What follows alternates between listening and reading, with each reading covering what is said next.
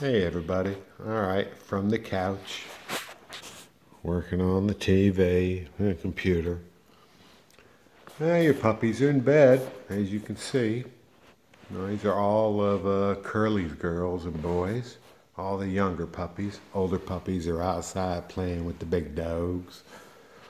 And uh, yeah, so just thought I would show them to you. It is possible to get your puppy to go to bed. It is. They want to go to bed.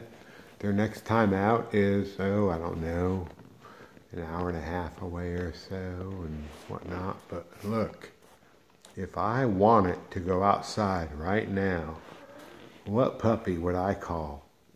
I bet I would call Brody. Brody. Brody. Brody. Brody. Bro, uh, uh, go on. You better go on back to bed. you better go on back to bed. Go on. Puppy. Ah, ah, ah, ah. Nope, nope, nope. It's not that kind of party. No, yeah, no, no. You cannot potty. No, there's no potty. I'm sorry. There's no potty. No, there's no potty. You need to go right back into bed. Thank you.